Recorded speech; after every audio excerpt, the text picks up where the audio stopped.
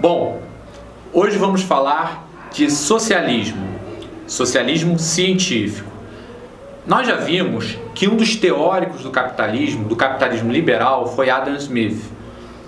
Mais tarde, na Alemanha do século XIX, surge um filósofo chamado Karl Marx, que aliás teve uma carreira no direito, ele teve uma formação como advogado e mais tarde ele fez um doutorado em filosofia. Marx é considerado um dos grandes teóricos do capitalismo. Sim, do capitalismo.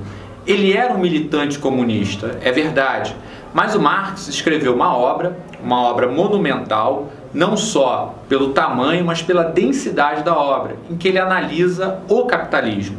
Essa obra chama-se O Capital.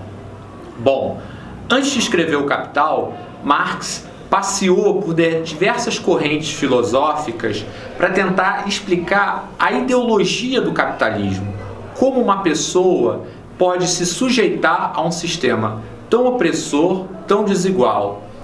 Marx acreditava que existia, no fundo, um processo chamado materialismo dialético, ou seja, ele acreditava que eram as condições sociais e históricas que levaram os trabalhadores a se adaptarem ao sistema capitalista. Mas essa adaptação não quer dizer apenas uma sujeição.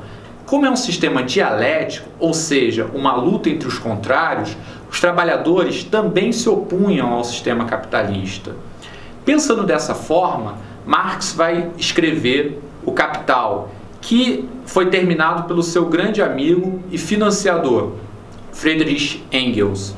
Nele, Marx tenta desvendar todo o processo de acumulação do capital, todo o processo de desenvolvimento capital e o processo final, global de produção capitalista.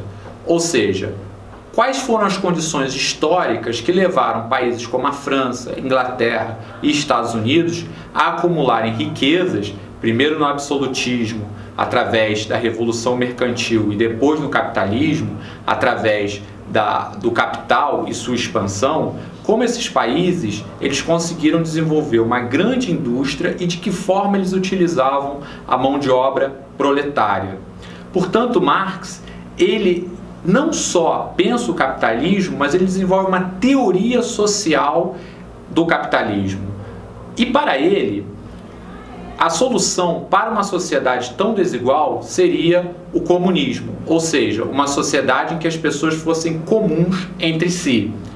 A partir disso, Marx vai influenciar várias gerações, culminando, por exemplo, em 1917, na Revolução Russa.